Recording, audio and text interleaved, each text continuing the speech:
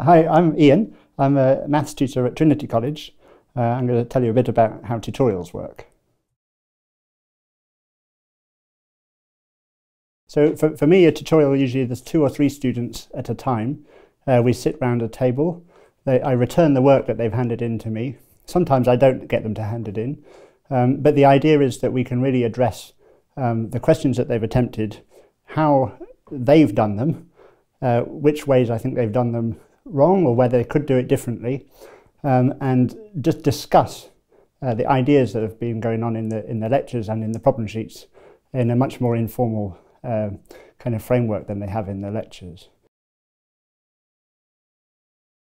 I think the tutorial is the chance to direct your own learning uh, so that, they can ask questions. That's the, the, main point of having a tutorial is that the, the, we, can, we can think about what they are interested in um, sometimes they will come up with a question which I'd not thought about, uh, and we can discuss it. So I think the idea of a tutorial is that it's a dialogue. Uh, it's not a lecture. I, I, I, will often show them how I would do a problem, but the idea is um, to transfer the way that I think about it to them, but also for me to work out how they think about it. Uh, and then they, they, they hopefully learn by seeing the way I think about it. Uh, but they also have this chance to say, but why did it not work like this? Or, or what would happen if I'd done it this way? Or why did this way not work?